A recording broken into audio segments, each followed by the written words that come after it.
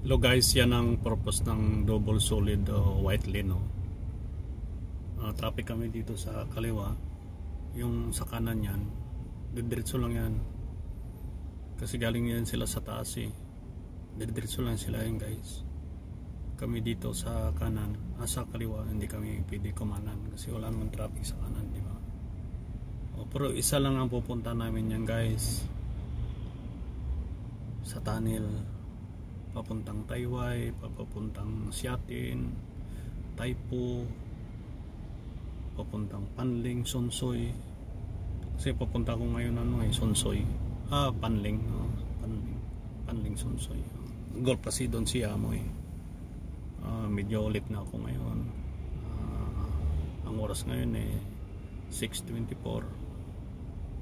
Uh, sana walang traffic papunta doon eh 7 o'clock daw sunduin. Siguro malilit ako ngayon kasi umalis pa kasi si amo babae. Yan ang ano guys yung purpose ng ano double solid white lane. Para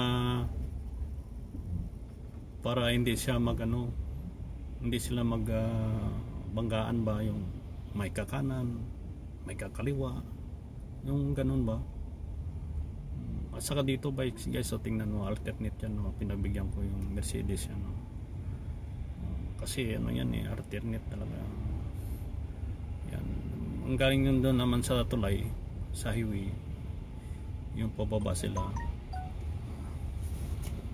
Ano yan guys, tuloy-tuloy lang sila, hindi kami pwede kumanan. Sila naman, hindi naman sila pwede pumunta sa kaliwa. Ba't sila pupunta sa kaliwa? Eh, traffic kami dito sa kaliwa, hindi ba? O yan ang buong purpose ng double solid white lane. At saka guys ibibideo ko rin sa inyo yung uh, double solid yellow lane. Bibideo ko rin sa inyo yun. Uh, ibig sabihin nun guys 24 hours no stopping doon. Yung dalawang guhit na yellow lane na dalawang guhit na yellow lane. Ibig sabihin yun guys ano guys bawal talaga mag uh, stop stop doon. Uh, 24 hours talaga yun guys. Oh. tingnan mo yun guys ha yung double solid lane o oh, hanggang dito yung putol guys oh. oh kakanan ako dito. Oh kasi putol na siya eh. ibig sabihin pwede ka na doon. At saka yung guhit na ano yan putol putol yan. Kung galing ka doon sa kaliwa yung guhit na putol putol guys yan tulad yung putol putol yan guys yan kung galing ko din sa kaliwa pwede ka kumana. Pero kung galing ka dito sa kanan hindi ka na pwede kumaliwa. Yung ibig sabihin yan ang ibig sabihin din ng ano yung may guhit na isa na solid uh, puti. Tapos may putol-putol siya. O eh, may ibig rin sabihin yan guys. Oh guys. Dito guys oh, tingnan mo ang ano to ang tunnel ano to sa ilalim kami ng bundok dadaan. Oh biro mo kung gaano kano yan guys oh bundok yan oh wala ang taas ng bundok yan. O, dito kami dadaan sa ilalim ng ano binutasan nila guys yung bundok eh. O, uh, ang tawag nito ng tunnel ano second uh, Lion Rock Tunnel. O, yan papasok kami sa tunnel guys. Yan papasok kami sa tunnel ngayon o, yan. Uh, dito guys sa tunnel kahit masiraan kami dito sa kanan Diba, yung sonahan ko nasiraan no, nasiraan no kasi may double solid white line yan nasiraan. Siyempre hindi kami makadiretso. Tapos yung dito sa kaliwa diretso lang sila yan guys. Diretso kahit pwede ako sumingit yan halimbawa ah, lang pwede ako sumingit kasi dito ano na eh, traffic na kami dito may nasiraan dun sa unahan eh. Kahit pwede ako sumingit yan sa magkakaliwa ako hindi pwede guys dahil may double solid white lane.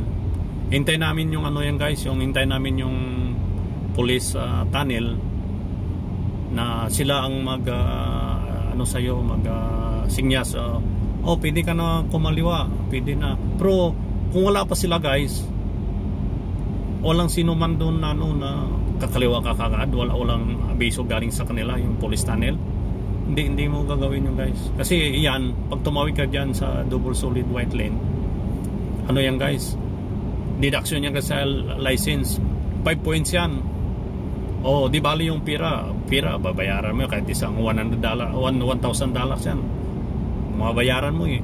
ang ano doon, iingatan namin yung license namin guys kasi may points yan eh. 5 points kagad yan.